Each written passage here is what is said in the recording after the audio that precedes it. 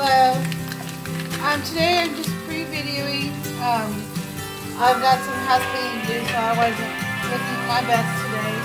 So um, I wanted to put this on early today, and um, so I wanted to show you what we're doing.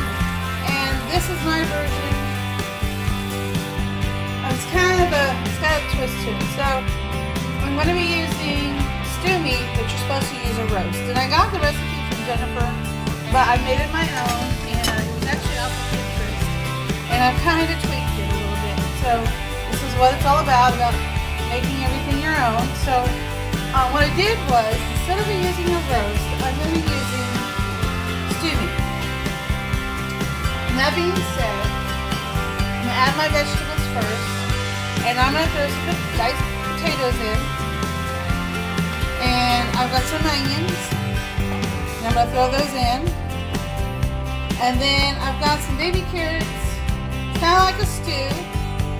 Um, but it's kind of like a pot roast type meal too. So then I'm going to throw some carrots in. And everybody knows I make a wonderful pot roast. I get that.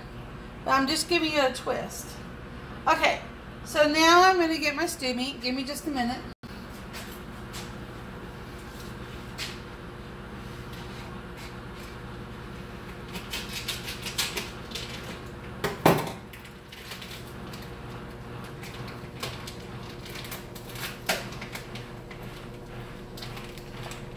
And I usually like to um, do this over the sink.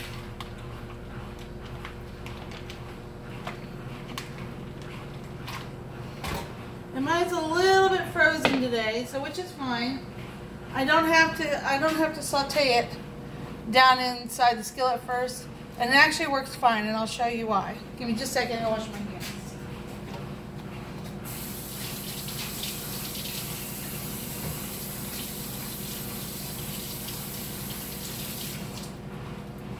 Okay, so to make this my own, um, I have changed a few ingredients. Now, um, I'm going to add um, dry onion soup. I use it a lot, as you can tell. And I'm just going to pour it right over, with the dry ingredient, just pour it right over the stew meat. And you're like, geez, it's frozen. You haven't, you haven't, you haven't sauteed or skilled it and browned the sides. I promise you, it's fine. It's going to actually come out so tender, it literally melts in your mouth. And then I'm going to take a packet of brown gravy. Now you can mix this up in a, about, it usually takes about two cups of water um, uh, for all the ingredients. If you want to mix it up inside the two cups of water, it's fine and pour it over the meat. That's fine too. It just depends on everybody's own taste and how they do things. And this is Italian seasoning. Now, I know everybody's seen this on Facebook and Pinterest and everything, and it's really good. So, I am going to pour this over the top. And then I'm going to get about two cups of water.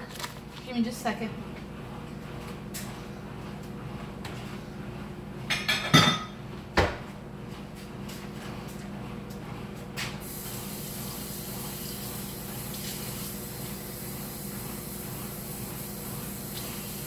And I'm just going to pour it around it.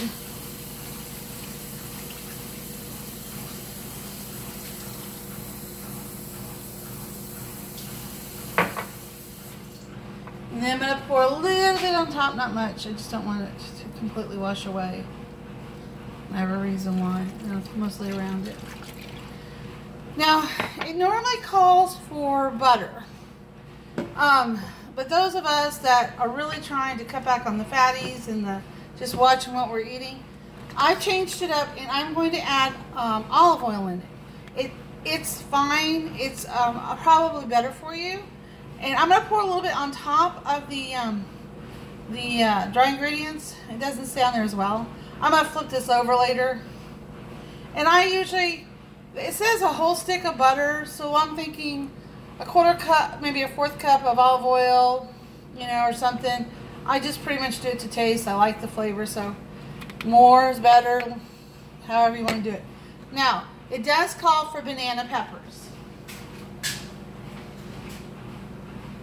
And find them.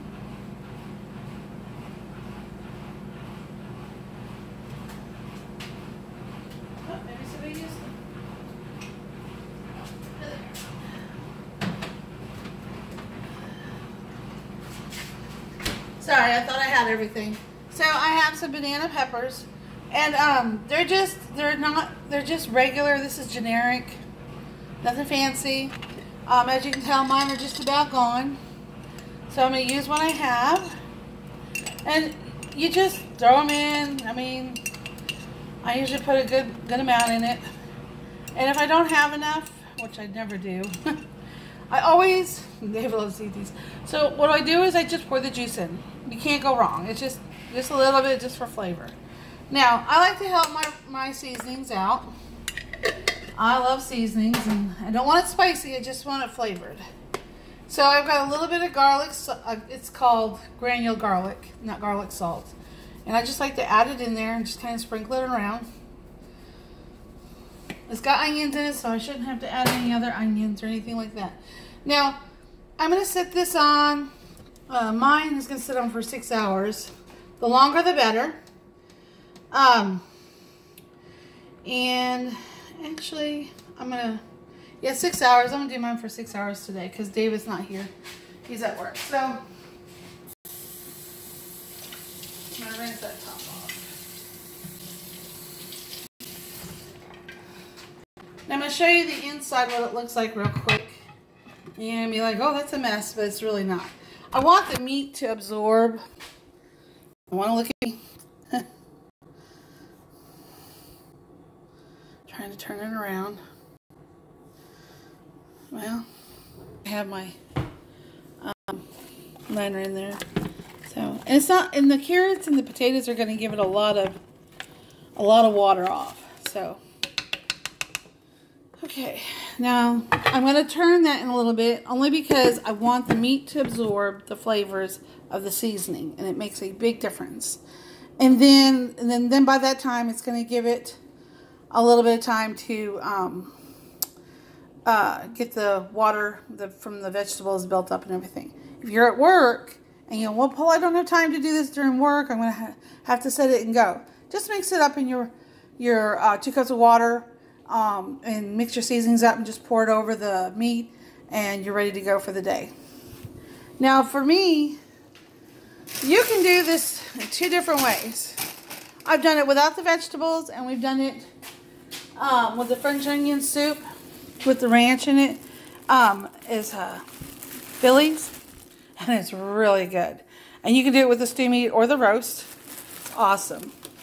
And what we like to do when I do the potatoes and stuff, and it's kind of a little bit more starchier than normal, but I like to do it over a bed of uh, egg noodles, the way I'm doing it now. Uh, it's really good. It's filling. It's almost a one-pot meal, just even though we're adding the noodles and it's a separate item. I mean, I don't add it into the into the stew meat or into the roast meat and all that, only because um, you don't want it to take away from the juices. So the egg noodles I usually do separate in a separate pot. All right, um, I will send this out. I hope you'll enjoy it and try it out. It's probably one of my better um, recipes that I've gotten off Jen. She's uh, been sharing hers. I share mine. Um, so I always tweak everything to my flavors, my taste, my ways. So that's what it's about. So talk to you later. Bye.